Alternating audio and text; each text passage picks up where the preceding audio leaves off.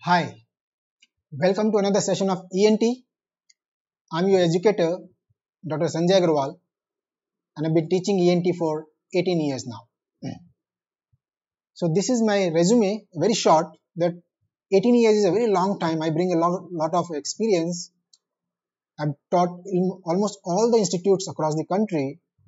And in the last 18 years, I've also written three ENT books, as you can see in your on your screen the first one in 2011, Dr. Agarwal's ENT. Second one in 2017, Review of ENT. And finally, the third one for MCI students last year, which is ENT for medical graduates, foreign medical graduates. Now, today's topic is uh, syndromes. So, we are doing a series of syndromes, and today I'm going to talk about anterior throat pain syndrome you know what this is. You'll see that when you start practicing ENT, lot of your patients will come very vague complain of pain on the head and neck area basically, throat area.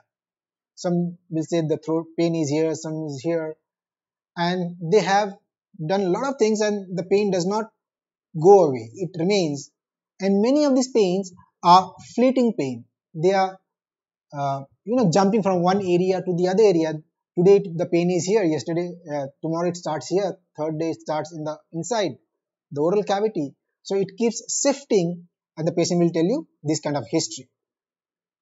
So what are the main features of this syndrome called anterior throat pain syndrome which is a you know this entity is a broad entity. Under this heading there are many subclasses that we are going to talk about. But like i told you the main feature is that there is a pain in the head and neck area, throat, which is just not going away. So the main thing, three features are there that they have endured multiple extensive, expensive diagnostic tests because they, you know, we we use this term uh, hospital hopping or doctor hopping or hospital shopping.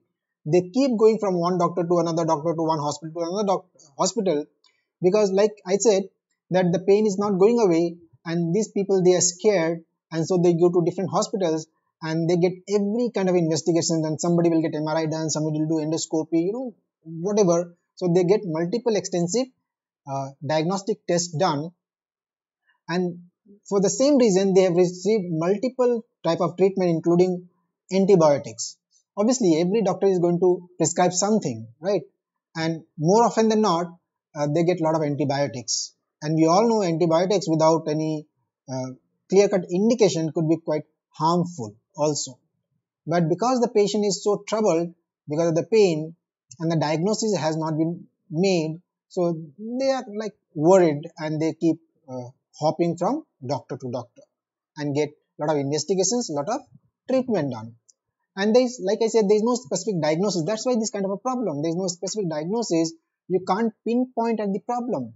Despite all the investigations and treatment, and so the pain persists. If you look at the last point, the pain persists despite all this.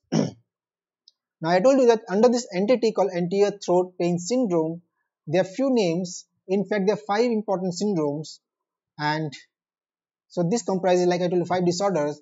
One of them is Ernest syndrome. This one is important one. So I'll tell you a little bit about this one. The second one is Eagles syndrome, also called Eagles disease.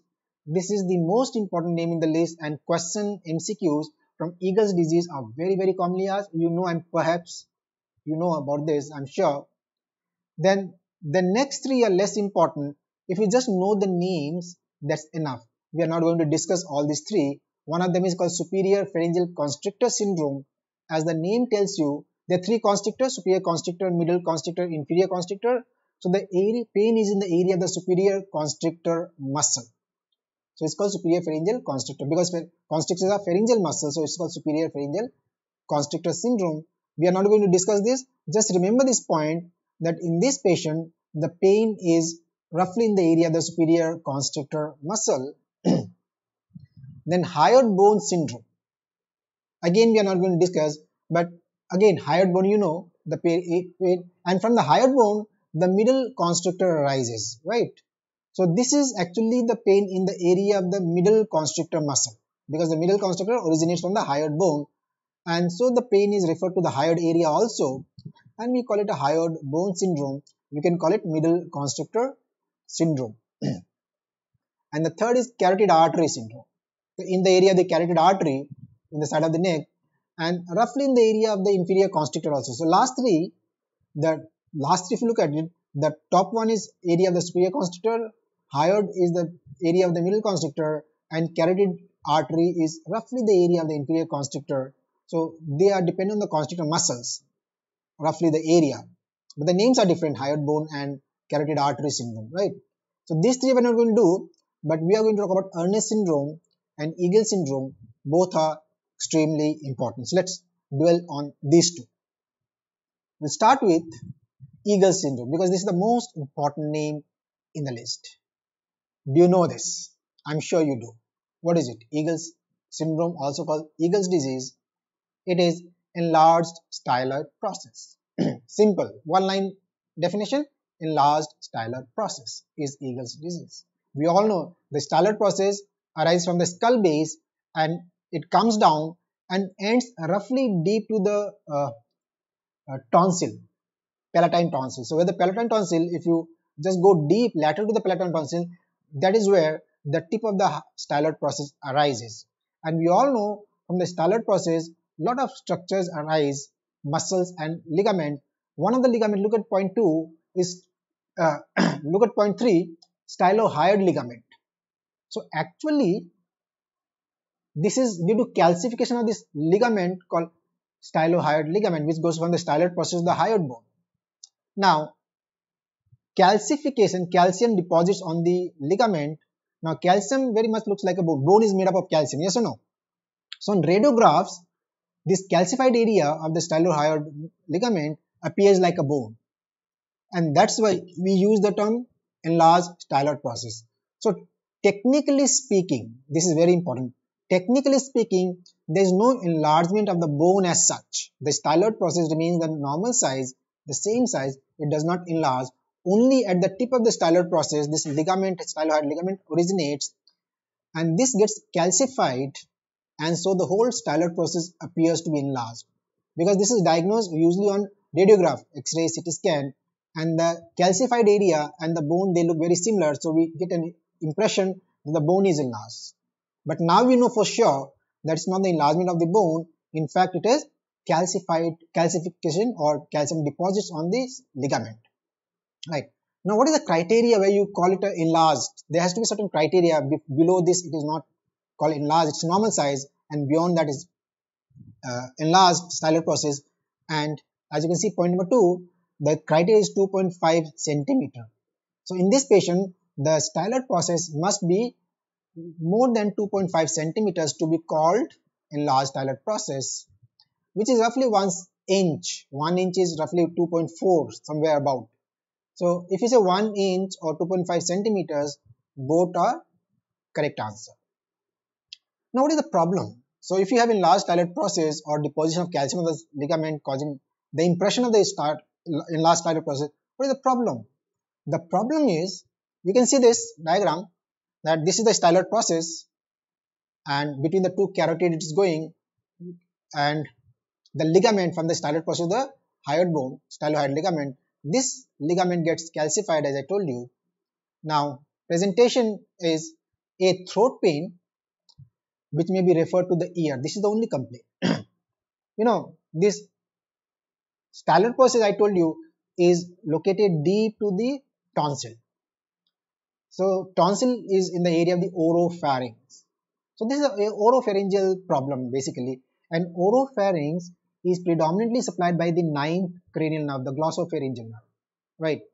So this uh, enlarged styloid process, it usually irritates this glossopharyngeal nerve, it irritates the nerve and that causes a kind of pain, constant nagging pain in the throat. Because this pain is due to styloid process, the pain is called stylalgia. This name is very very important, stylalgia. Is the pain due to styloid process. See, styloid process as such is not a problem. We are not bothered about the enlarged styloid process. 2.5 centimeter styloid process doesn't make any difference. But if it causes pain, stylalgia is a problem, right?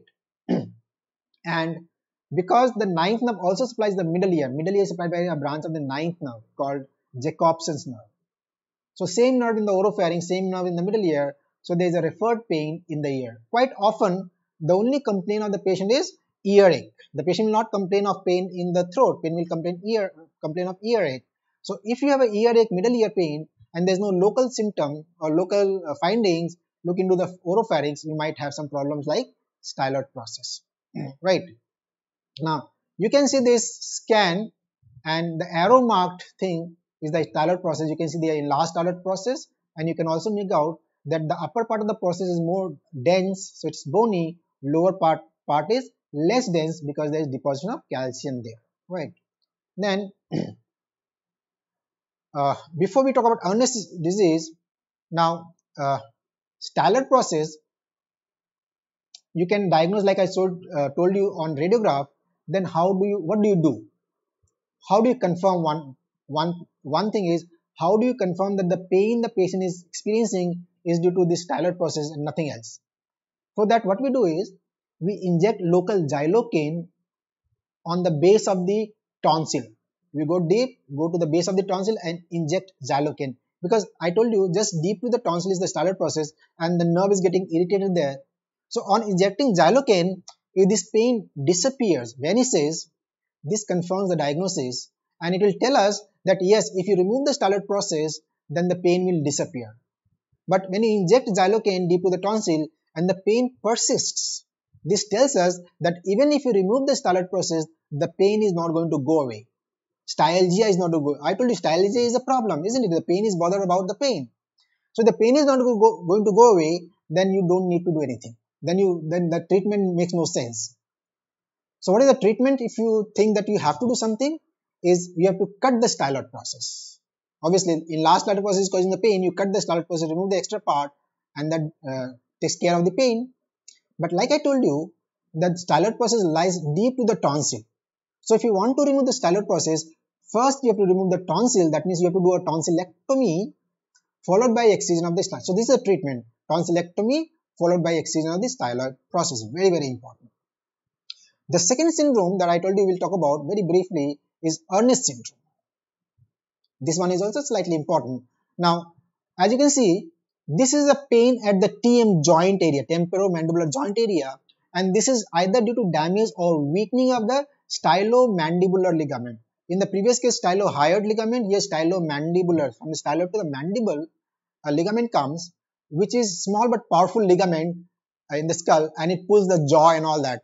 So this ligament is damaged or weak, and that causes a pain in the area of the TM joint, temporomandibular, and the pain can be referred to other parts.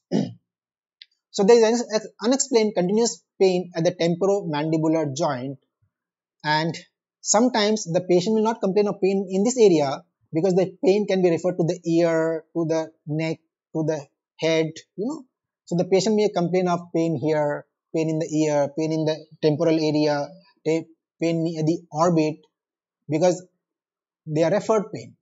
So one of the things you can do to diagnose is when you uh, elicit the pain, when you palpate this area of the TM joint, ask the patient to open the mouth and then palpate here, it will be tender. So that tells you if this area is tender, then it tells you it is Ernest syndrome, right? That's the way of eliciting the pain, right?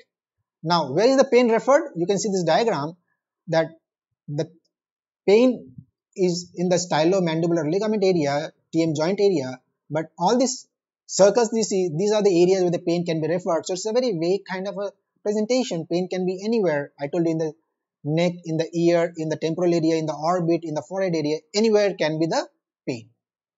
Right. So what you do is treatment is again you can do the local anesthetic infiltration of the stylomandibular area or joint area or you can uh, do what is called radiofrequency neurolysis. Neurolysis means you damage the nerve with radiofrequency waves. And if you give these waves pulsed in the pulsed manner, is called radio frequency pulse. It's nearly the same thing, right? So this is Ernest syndrome that you have to know, and there are three more syndromes. Now, uh, so this is about our syndromes that we have talked talk, talk about. Let me tell you that we are having our free course. This is a free course every seven, every day 7 p.m. Not every day, weekdays, Monday to Friday, 7 p.m. It says NEET PG 2021 crack ENT with Dr. Sanjay Agarwal. So please join this today's topic. Today's uh, uh, we every seven o'clock we have different topics. I've just taken a topic on instruments on ENT. There are four sessions on instruments of ENT. That session is going on. So please join if you want to know about the. It's a free session. We told you. But more important than this, we have new courses on Academy. One is a regular batch, one is a concise batch of ENT, and one is a ENT revision course based on live MCQs as, as it tells you, right? Now, the regular batch is a 30 hour batch course and starts on the 27th of July. And if you use this referral code Dr. Sanjay 10, you get a 10% discount, right? Then the second course is concise course as the name tells you it's a 16 hour course concise course the 16 hour course starts on the 3rd of August again if you use this referral code Dr. Sanjay 10, uh, 10 then you get a 10% discount and the third course is an ENT revision course based on MCQs this is a short 5 hour course only starts on the 30th November again if you use the same Dr. Sanjay 10 then you get 10% discount now this referral code can be used for any course you want to join in Unacademy. the last two courses that is concise course and this uh, mcq course we have combined them together and we give as one package it's called operation ent uh, NEET pg 2020 look at this. Operation NEET pg 2020 look at the name that we are going to take care of the NEET pg 2021 and in this we have all the 19 subjects. All the 19 ent is one of them. So, so first is like it says that till October, if you read the first line, till October, we are going to teach all the subjects in a concise manner. ENT starts on the 23rd uh, of uh, uh, 3rd of uh, August, and then followed by from October onwards, we'll have till December, we'll have MCQ based uh, classes. In ENT, I'm going to teach only 5 hours starting from 30th of uh, November. Right. And this course is going to be having like you can see all the subjects. ENT is 16 hours of concise course and 5 hours of MCQ based course. And this is being taught by all the main faculties. You can read the name of the faculty. Look at the ENT. I'm going to teach you ENT 18 years of experience, my dear friends. So don't miss this, right? So this is the discount as you can see, 10% discount if you want to get Dr. Sanjay Agarwal's ENT, you can join this, right? And that is going to be today. Again, we'll come next week with another syndrome. So we are going a series of syndromes I'm going to do. So please join next week, same time, roughly at same time with another syndrome that I'm going to come with. So thank you, all the best, and this is your ENT educator, Dr. Sanjay Agarwal.